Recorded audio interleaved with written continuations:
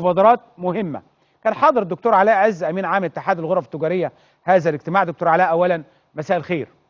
مساء الخير أحمد باشا ومساء الخير للسادة المشاهدين. ماذا عن هذا الاجتماع؟ ماذا عن مسألة تجارة التجزئة ومبادرة التوطين وميكنه قطاع التجارة؟ تجارة التجزئة اللي كان في اجتماع دولة رئيس الوزراء النهارده. إيه الهدف؟ وهنوصل لإيه؟ وهل على مراحل ولا مرحلة واحدة؟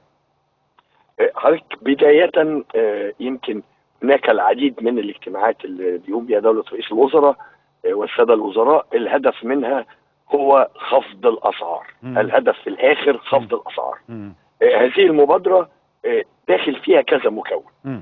داخل فيها مكون إن أنا بعمل شمول مالي لقطاع التجزئة الصغير مم. في نفس الوقت إن أنا بجمع قطاع التجزئة الصغير ده وابتدي أساعده إن هو يتم الشراء المجمع بالنسبة له وبالتالي يشتري أرخص. فيقدر يبيع أرخص. بوفر له تمويل كان رئيس اتحاد البنوك كان موجود آه، ليه آه، أزود ال- رأس المال العامل بتاعه فيقدر انه يوفر سلع أكتر للمواطنين في المنافس بتاعته. آه، في نفس الوقت كان موجود النهارده معالي وزراء التموين والتجارة الداخلية التجارة والصناعة الاتصالات المالية. سيتم وضع حل تكنولوجي مبسط. أنا النهارده عندي 6 مليون آه، مواطن آه، موظف. في الجهاز الإداري للدولة بيقبض على كارت آه، آه، card مم. وعندي حوالي نفس الرقم تقريبا معاشات. وتقريبا نفس الرقم من القطاع الخاص بيقبضوا برضه مرتبهم على حسابهم في البنك وبيصرف يا إما بك اللي بيحصل النهارده إن أنا بروح على مكنة ATM أسحب. نقدي. وأروح أشتري بيها. التحول من هذه الآلية. إن أنا بتكنولوجيا مبسطة ما بقولش إن أنا هركب وحدات بيع زي المحلات الكبيرة أنا ممكن تبقى موبايل والت آه المحفظة محفظة الموبايل مم. هناك آليات متعددة ج- كثير من دول العالم المتقدمة والغير متقدمة بدأت تطبيقها كويس كل الآليات دي هتساعد في حاجة أساسية مم. إن أنا بقلل من تكلفة التداول مم. الشراء المجمع من خلال الشركات مباشرة آه، متجاوزا آه، المراحل المختلفة من تاجر جملة وتاجر نص جملة. هتوفر لي في التكاليف. الهدف في النهاية هو إن أنا أحقق الشمول المالي ليس فقط. للمواطنين ولكن أيضا للمحال التجارية الصغيرة وخاصة اللي ما عندوش حساب بنكي من أساسه عددهم كام. مستهدفين قد إيه المحلات الصغيرة المنشات الصغيره دي؟ المرحلة الأولى آه. هيبقى 400 ألف ده آه. المستهدف آه اتحاد البنوك داخل معانا بتقله هناك الثلاث بنوك داخلين في المرحلة الأولى وباقي هنتوسع بحيث إن هنغطي جميع المحال التجارية على مستوى الجمهورية. طيب عشان نوصل لرقم كام في الآخر مرحلة أولى 400 ثم في ال- الآخر ال- عندنا قد إيه كام أنا؟ الهدف بتاعي آه. في الآخر إن أنا أدخل كمان القطاع الغير رسمي آه واللي بع... اللي هنطرحه يمكن معالي وزير المالية كان ركز على دي مم. إن تطبيق قانون المشروعات الصغيرة والمتوسطة ومنتديه الصغر ده هيدي إعفاءات ضريبية هيدي تيسير في التسجيل واللي اهم من ده كله بالنسبة له مم. الحصول على التمويل الميسر. طيب ال- الدعم هنا أو ال- الاستفادة هنا حضرتك بتقول المواطن. إزاي؟ آه، آه، ممكن تشرح لنا إنه كل الهدف اللي بيتعمل عايزين كل الأسعار تكون مخفضة. النمرة واحد أنا لما هخفض آه. تكلفة الشراء آه. للمحل. آه. أنا تلقائيا خفضت سعر البيع النهائي. آه. نمرة اتنين إن أنا هيسر آه، عملية التداول. هقلل من سلاسل الإمداد المختلفة مم. وسيتم طرح نقاط. زي ما حضرتك مع الموبايل ومع الكريدت كارد. إن كل ما بتشتري كل ما بيديك نقاط أنت. كل ما هتشتري هتاخد نقاط. وكل ما التاجر هيبيع هياخد نقاط النقاط دي تحول يا إما النقد يا إما الهدايا. وبالتالي أنا بدخل المنظومة كلها بالكامل. إن أنا بخلي المواطن والتاجر الاثنين داعمين لهذا التحول. مم. ده غير غير ال- آه، مبادرة الضرائب اللي هم آه، الناس آه، تشتري فاتورتك حمايتك. دي حاجة تانية إضافية؟ دي قصة تانية دي مبادرة تانية آه. مالهاش علاقة. إحنا آه بس المبادرة دي دي إحنا بنتكلم كمان هنا على مكافآت وعلى هدايا. تمام. آه. لأن أنا أنا بحاول أحفز الجميع للمشاركة عشان أعجل. ما هي النقطة كلها يا فندم. الهدايا لمين؟ للمحلات ولا للمواطن؟ الاثنين. الاثنين. ليه؟ حضرتك النهارده لو رحت تشتري من محل ما عندوش ال- الآلية اللي اشتري بالكارت أو اشتري بالموبايل يبقى مش هستعمل ال- المنظومة. امم لو المحل عنده والمواطن ما جاش يستخدمها مش هيستعمل منظومة. يبقى أنا عشان أنجحها. مم. وأعمل هذا الكم من الشراء الموحد. مم. وأعمل هذا الكم من الخصومات اللي هتتعمل محتاج أحفز الجانبين. مم. طيب التحفيز هنا المادي أو أو العين إيه؟ المنشآت الصغيرة أو الناس اللي بتشتري؟ في المنشاه الصغيرة نمرة واحد آه. الحصول على التمويل الميسر آه. ده نمرة واحد. مم. هو عندوش القدرة إنه يحصل على التمويل. آه. فتح له حساب بنكي. هوفر له الحل التكنولوجي متكامل وحاليا بيدرس هل مجانا ولا بنسبة مشاركة من المحل. إنما ال- الهدف إن هي تكون مجانا. مم. فهناك العديد من الآليات اللي جاري دراستها. إحنا ابتدينا الفكرة دي في 2019 وجات الكورونا والموضوع وقف. إيه، دولة رئيس الوزراء فتح الملف وبيدوس جامد فيه إن إحنا نخلص بأسرع ما يمكن.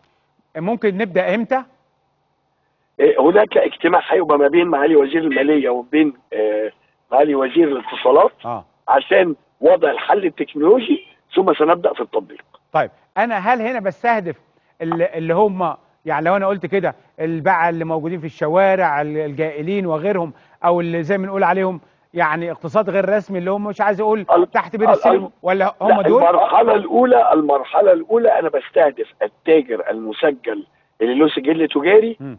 اللي ما عندوش حساب بنكي. مم.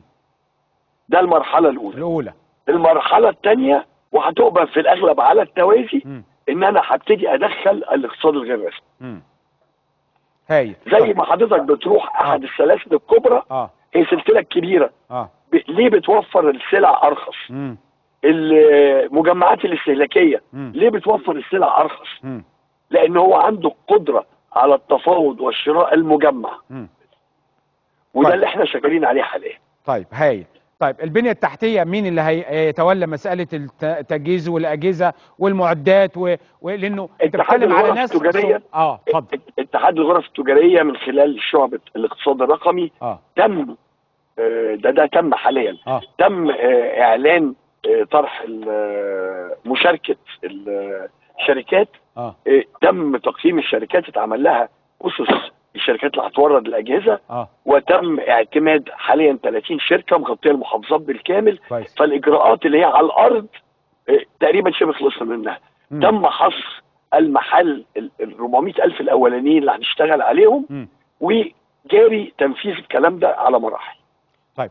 آه، دكتور علاء دلوقتي مع أهلا رمضان ولازم تاني زي ما اتكلمنا الأسبوع اللي فات بتكلم تاني لأنه لقينا بجد المسألة فارقة مع الناس. يعني في إقبال كبير على معارض أهلا رمضان.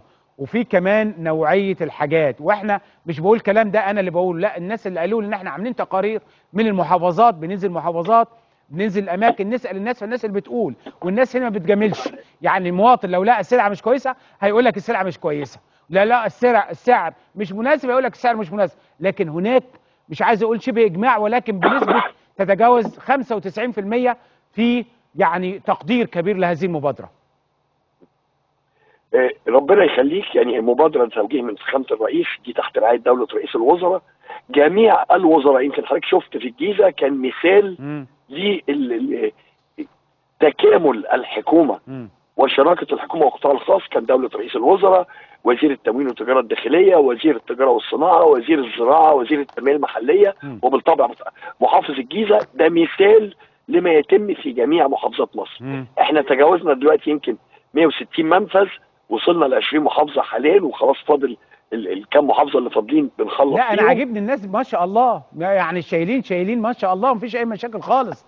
ده واحد إيه، إيه حضرتك واخد ربطة سكر وربطة رز ما شاء الله عادي جدا. واحد واخد خمس كراتين بيض وحد تاني ما شاء يعني بقول لحضرتك هقول لحضرتك ليه؟ اتفضل. هو ده مش واخده لنفسه.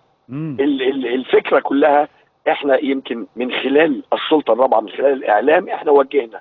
يا جماعة انت النهارده آه، عندك أربع أولاد متجوزين وانت. نعم. أديكوا بقيتوا خمسة. نعم. واحد فيكم ينزل المنفذ. يشتري للعيلة كلها ويرجع. آه ليه؟ عشان ما نزحمش تكلفة الانتقال لا وتكلفة الانتقال دوبتها على خمس عائلات. آه. فبالتالي دي ساعدتني إن بدل ما بعامل منفذ على ناصية كل بيت مم. بقيت بعمل منافذ في المناطق الرئيسية ومن الممكن أن ينتقل المواطن شراء لمجموعة وليس لنفسه لوحده. كويس. والتعليمات اللي عندنا زحمة. المواطن يشتري الكميات اللي هو عاوزها. معرض فيصل زحمة ما شاء الله. زحمة زحمة يا يعني. فندم هو معمول معمول للمواطن. طالما آه. المواطن جاي آه. حضرتك بقى لا تقول لي سألنا ولا ما سألناش. قدامنا أهو. تواجد المواطن وتكرار مجيء المواطنين أنا بالنسبة لي هو ده حققنا الهدف. صح. يعني دي دي إيه، ممكن أسأل حد هيبقى معترض على سلعة مش عاجباه. لا كان عاوز حاجة مش موجودة طبعا ده حقه. آه. إحنا كلنا في خدمة المواطن. نعم. ولكن يمكن الأساس مم. هو تهافت المواطنين معناه إن هناك سلع نعم. جوده عالية نعم. بأسعار مخفضة وده هدف المبادرة. أصل هو لو اشترى م- كذا حاجة مع بعض كده هتعمل له رقم في الآخر.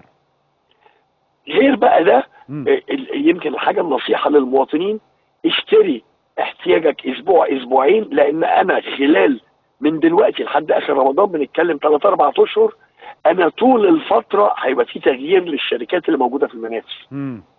أنا مش هيبقى المنفذ نفس الشركات موجودة طول الوقت. أنا آه. هقعد أغير في الشركات بعروض جديدة بماركات جديدة بخصومات جديدة قد تزيد أو أنا متوقع إن هي هتزيد الخصومات مم. لسبب بسيط. حضرتك يمكن البنك المركزي طلع بيان امبارح آه. 2 مليار افراجات في الثلاث أيام اللي فاتوا. صح. إحنا عندنا ال 11 وشوية دلوقتي. هذا يعني إن عندي كم من السلع متوفر في الأسواق امم عندي كم من الخامات بتخلي المصانع تشتغل بكامل طاقتها وبالتالي الأسعار ستستقر أكثر وبالتالي شركات حضرتك مقدر بتقول بعد أسبوعين هيبقى في تخفيضات أكتر؟ هيبقى أنا متوقع إن هيبقى فيه لأن أنا دلوقتي المصانع شغالة بكامل طاقتها. آه. بضاعتها الجديدة دي لما تنزل السوق آه. هتنزل آه. وأنا محمل مصاريفها الثابتة آه. على كم إنتاج كبير جدا. كويس. وبالتالي نصيب الوحدة هيقل فيقدر آه. يديني خصم أكبر. آه. فبتقول للناس يعني اشتري حاجتك الاسبوعين اللي جايين وبعدين استنى لأنه اللي جاي ممكن تلاقي الحاجة أرخص كمان أزيد. وهتلاقي أنواع أخرى. نعم. وإحنا النية قائمه حاليا إن أنا طول ما إحنا ماشيين رمضان داخل هزود كم السلع الرمضانية. كويس. اليميش وقمر الدين و الكلام ده. طيب. دخلنا قربنا من نص رمضان هبتدي في نفس المنافس أنزل هدوم وحاجات للعيد. النيه قائمة أن نستمر إلى الأبد. آه يعني في, ويمكن- في نفس المعارض قبل العيد مثلا في نص رمضان كده تنزلوا آه، ملابس العيد؟ هيبقى أهلا بالعيد. أهلا بالعيد. هيتحول من أهلا رمضان لاهلا بالعيد. أهلا بالعيد. ودولة رئيس الوزراء وجه أثناء اجتماع مجلس المحافظين بأن يوفر السادة المحافظين اللي بنشكرهم. مم. بنشكر المحافظين وبنشكر الغرف التجارية في المحافظات وبنشكر اتحاد الصناعات اللي واقف في ظهرنا في الموضوع ده. إن توفير أراضي إن المعارض دي تبقى دائمة. كويس قوي يتعمل هيكل بسيط والمعرض ده يبقى الناس دائم كلها يا دكتور علاء في التقارير اللي إحنا عاملينها بيقولوا يا ريت الحاجات تستمر. ما تبقاش لحد رمضان. هو طلب الناس كده. آه، وهتسمعوا معانا بعد شوية. الناس كلها بتقول كده. يا ريت يستمروا. يا ريت يستمروا. اتفضل. يا فندم الحكومة مم. الغرف التجارية اتحاد الصناعات الإعلام كلنا في خدمة المواطن نعم. أي حاجة تحقق هدف إتاحة إضافية وخفض للأسعار للمواطن حضرتك ما تنساش. أنا عندي ظروف اقتصادية عالمية. جات لي غصب عني مم. كلنا متحملينها. الدولة شالت قد ما تقدر في زيادة الدعم في زيادة تثبيت سعر العيش تثبيت سعر المحروقات عندك كذا حاجة اتعملت من خلال الدولة.